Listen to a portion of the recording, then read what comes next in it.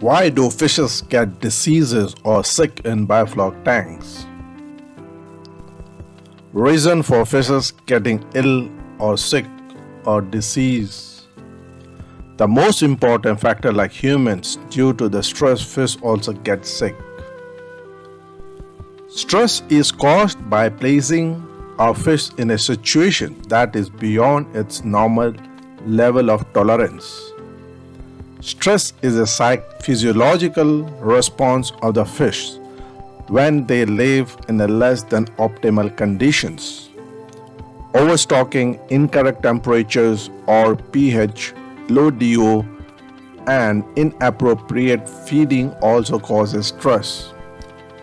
The fish's bodies have to work harder to overcome these poor conditions, resulting in a depressed immune system. With a depressed immune system, the ability of the fish to heal and the ward of diseases reduces. Fish are sensitive to change in their environment, and in aquaculture system, they are under more stress than in the wild. When fish is stressed, the effectiveness of its immune system is reduced, making it more susceptible to diseases. Stress alone does not kill the fishes. However, if fish are stressed for an extended periods, they will inevitably develop diseases from various bacteria, fungi, or parasites, etc. The key to prevention of stress is a good management. This means maintaining a good water quality, good nutrition, and sanitation. Fish health management is a term used in aquaculture to describe the management practices which are designed to prevent fish diseases. Once fish get sick, it can be difficult to salvage them. Successful fish health management begins with the prevention of diseases rather than the treatment. Prevention of fish diseases is accomplished through good water quality management, nutrition, and sanitations.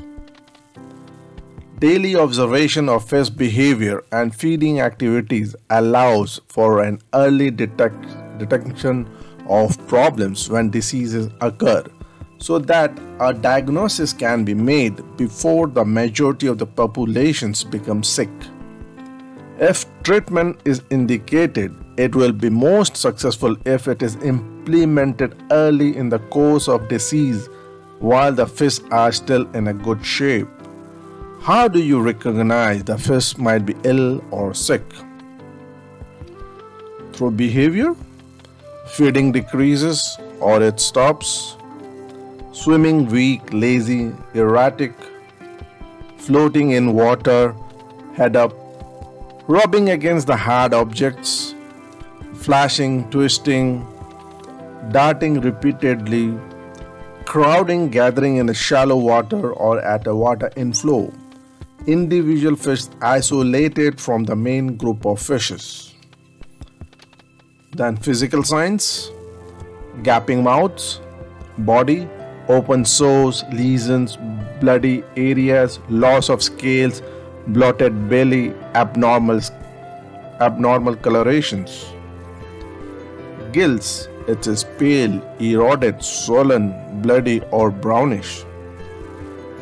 Fins, folded close to body or eroded. Eyes, cloudy or distended. Presence of disease organism on skins, gills, fins. Trailing faecal casts appears to at the vent. There may be signs of growth of, or abnormalities inju- or injuries. What causes stresses in fish?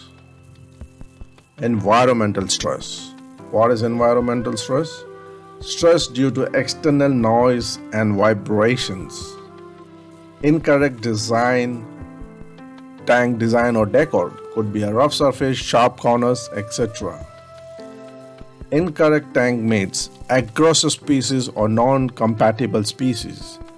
Accidental pollution, insecticide or spray or spill or chemicals. Water conditions, inappropriate temperature, sudden decrease or increase in water temperature, fluctuating water conditions, low DO or improper pH, bad water quality. If the water parameters are not maintained, it leads to a poor water quality which will stress the fish and affect the fish health. Physical stress bullying from the other fish, bigger fish in the tank or other fish species in the tanks. Too high density, overcrowding of fishes will stress them. There are high chances of injuring each other.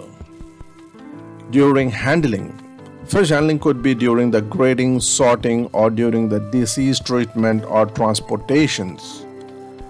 From other objects, objects obstructing their paths when swimming around. pathogen access, introduction of ill fish in the system if the sanitization is not done properly of fish seeds before putting them into the tank. Debris buildup, nitrogenous and other metabolic waste, accumulations of ammonia or nitrite, etc. Pathogen unknown to the fish but gets transferred to the fishes unknowingly, spoiled feed or molded feed, low grade processed feed, which will make them sick. Internal and external parasites. Other causes of stress overfeeding can also create a biological stress in fishes. Therefore, a regulated feeding is important during the fish breeding period. Incorrect diet need to Know the right feed proteins requirement for the fish species you are breeding in your tanks. Low genetic immunity of fish species. Therefore, getting the fish seed from the right source is very much important. Emergency actions if fishes are found to be sick, infected by diseases. Keep the tank clean. Pump out the stale bottom water.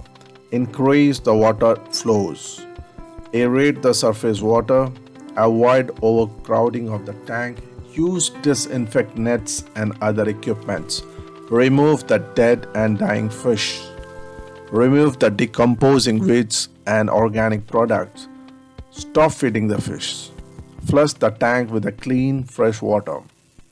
If the tank is well maintained and the fish is fed a healthy diet, outbreak of any kind of bacterial diseases are unlikely in biofloc tanks.